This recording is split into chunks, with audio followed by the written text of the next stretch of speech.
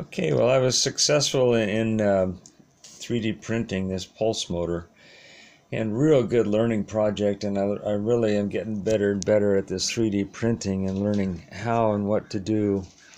And it's pretty darn, uh, pretty darn neat. The um, the design part of it. If you make a mistake, you just go right back into the computer, and you um, redesign it and print out another piece and uh, it's pretty darn neat. Um, rotors were something I, I, first started working on to get away from the lid, and this is something that was really fun. Um, this infill is something I played around with to see just what do you need to make a, a rotor stout enough and the whole bit, and then of course putting a hole down the middle of it uh, with something like this is so much better than trying to make a needle perpendicular down a lid, which I've always had trouble with. But uh, this is uh, half of this. This was really the first successful one that I built up here. And it's um, hollow, kind of like that one there with that infill. And um, it was just a little bit too big, so I printed another one that was somewhat smaller.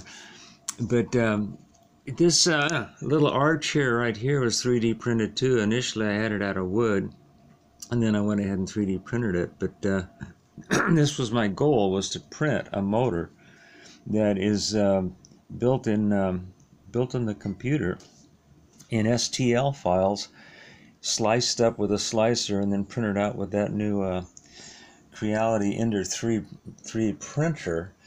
And uh, it worked really, really neat. Um, this was just the first one. Um, it's basically the easy spin uh, idea of Lasersaber's which is a spin-off of Bedini, which is a spin-off of the Adams motor. Uh, it's a monopole. Uh, this is uh, the basic circuit of it right there. Um, all north-facing poles, uh, coils that are wired in series on this one, uh, and they're all in opposition.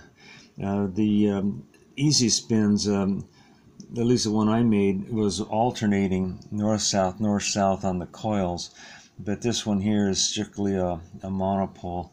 There's the little circuit diagram right there. Not much to it. Um, the coils are nothing fancy. It's 34 gauge magnet wire. The whole coil array is about 180 ohms. It's nothing to write home about but I wanted something easy to wind and simple for my first motor. Uh, it's just a solar garden light solar panel. Um, 100 microfarad uh, capacitor to hold the juice between the pulses, simple reed switch, and bada bing, bada boom. There you go. Uh, the bottom bearing is the brass rivet down in there that the needle runs in a pool of oil inside the brass rivet.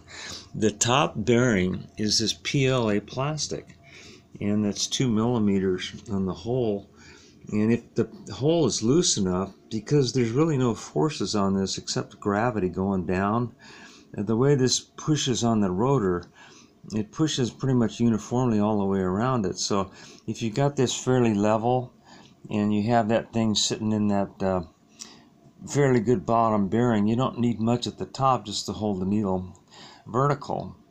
Now you could do this with a magnet of course, but then if it speeds up it gets to wobbling around. So I, I like to go with a, a better bearing at the top. But this, this uh, was very successful. This worked out real good. And uh, like I say, this was my first successful um, 3D printed motor. Done completely on a 3D printer except for the the um, coils are machine uh, sewing machine bobbin coils. And um, I'll probably try to build up a bunch of these uh, other coils 3D printing but uh, sewing machine bobbin coils are just easy so that's what I used. Thanks for watching